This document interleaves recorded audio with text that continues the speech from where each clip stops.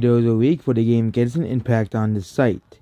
Usually you see them on the mainstream sites on Twitter and stuff, but you'll never see it on 4chan for some reason. But these are the new characters. What do you think of these new Genshin characters? Characters are called Collei and Dori. So Dori's here and Collei is here, and also there's this guy called Tighnari as well, who is a you know I am so sick of that trend. You know, every you know, even affecting the I can't wait till Final Fantasy 17. The main protagonist is a cat person or dog person. It's just dude, why? you know, there's these people with these weird. I I I, I could get to that, but yeah, it will, I will be surprised if Final Fantasy 17 has it. You know, League of Legends had a Kako. Xenoblade now has a Kako. I bet they're gonna probably add the Kako the Smash Bros to spite people. And yep, that's basically about this video. Goodbye.